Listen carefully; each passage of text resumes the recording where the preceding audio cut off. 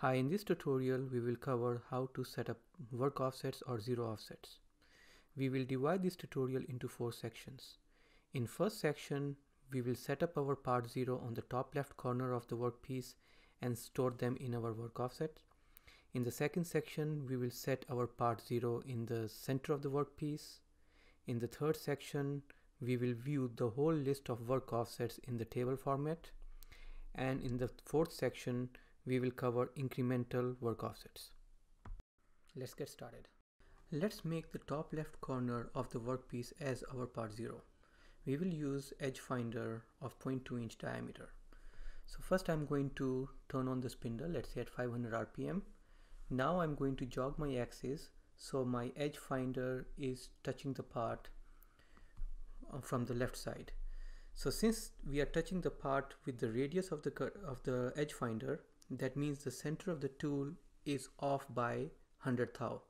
And since it's on the negative direction in the negative side of the part I'm going to preset my X as negative 0.1 so I will press X on the keyboard and enter a value of minus 0.1 and then you press enter. Our X preset is done. But in case if you do not feel comfortable of presetting your X's as a negative 0.1 you can always preset it to 0 and then use your hand wheel to move over by 100 thou and then preset it to 0 again. It will be the same thing. So now I'm going to move it out and I will repeat the same process for the y-axis as well. So I'm going to jog it along the y. So now as you can see the tool is touching from the back side of the part and again our center of the tool is off by 100 thou. And since it's in the positive direction I will preset my Y to positive 0.1 enter. So it's all preset is done. I'll move it out of the way. And now we will do the same thing for the Z axis as well. But now we have to keep in mind that before we touch the surface of the part we need to have the tool which is already pre-calibrated for the length because we have to have the right length tool in the spindle in order to touch the surface of the part. So I'm going to call a new tool at this time, let's say tool number four, because this is a pre-calibrated tool, cycle start. So now I have tool number four active. Now I will touch my new tool to the surface of the part.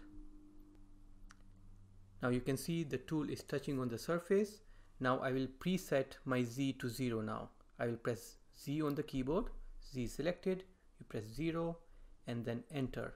So our Z, Z preset is done as well. I will move it out of the way. Now we will store our part 0 that we just created into our work offsets or zero offset tables. Now you can see there is an icon on the right side menu offsets. We press that icon, it opens up a new window which shows all our work offsets in the control. So you can select any of the work offset you want to use to store the coordinates of the current part 0. So I will select the first one which is G54. CNC allows us up to 99 work offsets and the first one can be programmed either by programming G54 or you can also program it as G159 is equal to 1. So now my first uh, work offset is active. I will press enter on the keyboard and as soon as we press enter see all the new coordinates have been transferred into these data fields. So your x y z these coordinates are automatically populated because the cnc remembers the last preset we performed on on, on the part. And these coordinates shows how far our part 0 is from the machine home position for each axis. Now in case we want to activate this work offset so right now we just stored the values, but we want to activate it. So we can press cycle start while this G54 is selected, cycle start, and it turns into green. That means our G54 is active on the screen now. Your G54 is activated. Now we will locate the center of the workpiece and set that as our new part 0. So I'm going to turn on the spindle first. Now I'm going to jog the axis so it's touching on one end of the part, one side of the part. Now it's touching along the x-axis. I'm going to set preset my x as 0 now. I will say x 0 enter. So our x0 is set. Now we will jog our axis to the other end of the part, to the other side of the part along the x-axis. So as going down. So now it's touching on the other side of the part. And you can see that to travel from one side to the other side, the axis has traveled about 5.774 inches. That means the half of this distance is where the center of the part is. So now we will use uh, our inbuilt calculator to find out the center point. To do so, I'm going to press X on the keyboard. X is highlighted. Now you can press the calculator key on your keyboard. But if you don't have the calculator key, you can press Control K. That's the shortcut of bringing up the calculator. So I'll press the calculator. A calculator screen uh, uh, came up on the screen and as you can see the coordinates that were in in the x-axis have been transferred to the calculator so now we will say divide by 2 from the keyboard and you press enter it comes up with the end result which is 2.887 that is exactly half of these coordinates. So I'm going to press insert on the keyboard now. As soon as you press insert this number will be transferred onto the x-axis coordinates. As you see x is 2.887 now. We will press enter on the keyboard. Enter. Now the we have already determined where the center of the workpiece is.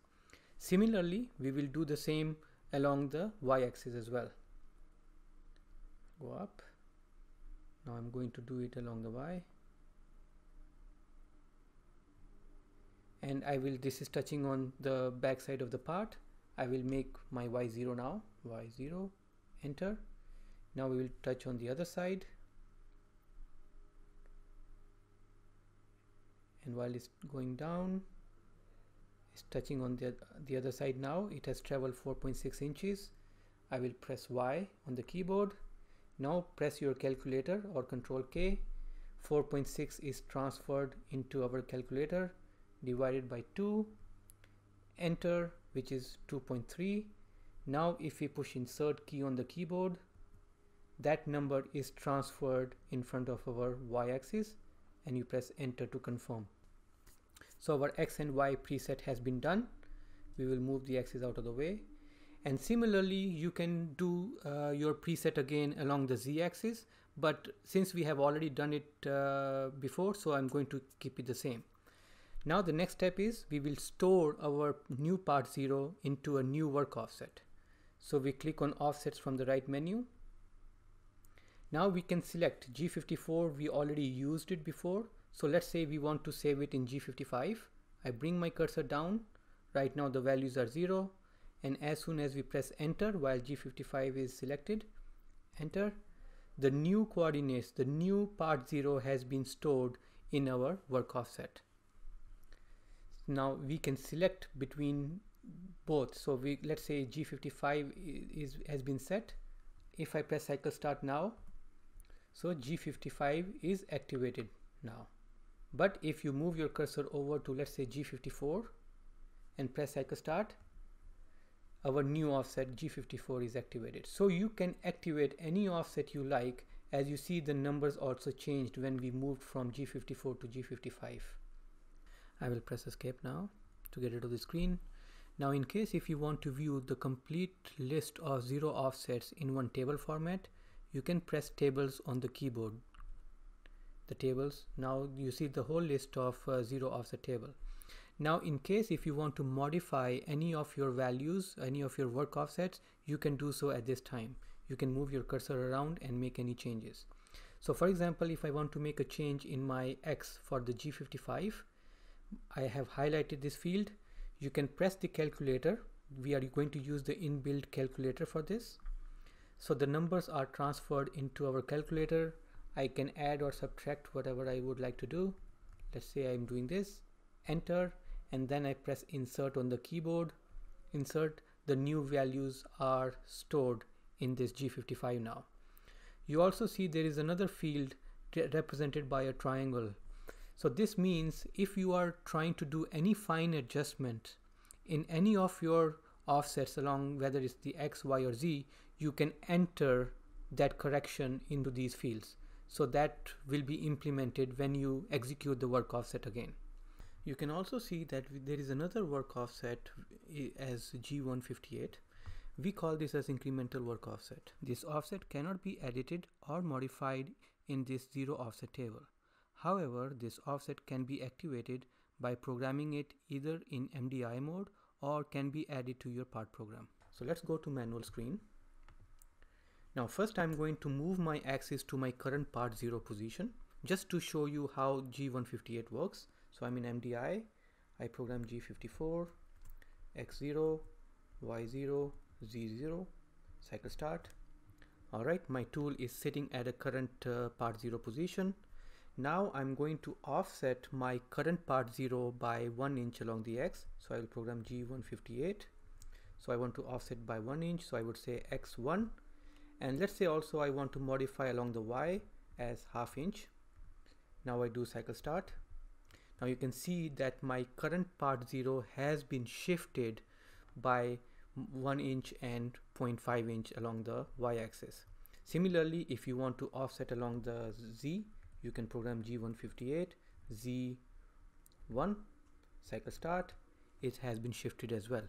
Now if I go back to tables to show you what is programmed, now you can see that G158, the, the whole line is green and it has the values we just programmed to offset our current part 0. So now see uh, the whole line is green. That means this is active. In order for us to go back to our original part 0 I will go to MDI and I program G158 by itself. Nothing else uh, uh, in front of it. And press cycle start. So now you can see that G158 line is grayed out again. That means it's cancelled and our original part 0 has been restored. If this tutorial helped you out, please give us a like and subscribe to our channel for more content. If you have any suggestions for our next tutorial video, please leave comment below. Thank you.